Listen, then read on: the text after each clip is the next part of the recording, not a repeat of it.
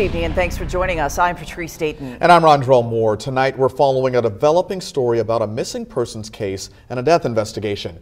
We reached out to detectives at the Terre Haute Police Department about the incident. Police say Teresa Joy was reported missing on March the 31st. Southwood Healthcare filed the report. The nursing home says Joy was a resident there. It said Joy walked away on March 30th with neither an ID nor a phone.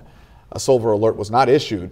Police say Joy did not meet the criteria for the alert. Meanwhile, today, the Terre Haute Police Department told News 10 a woman's body was discovered not too far from Southwood. It was found on April 17th. The body was found in a heavily wooded area near Lockport Road.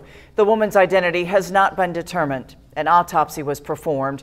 Those results are still pending. Police say they're waiting on DNA results to confirm the person's identity. Now, THPD are neither confirming nor denying this death investigation is related to the missing persons case.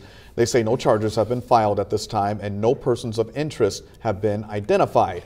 More developments could come after the results from the autopsy are released. The investigation is ongoing. If you have any information about this case, please call Detective Gant at the Terre Haute Police Department. That number is right there on your screen. It's 812 238 1661.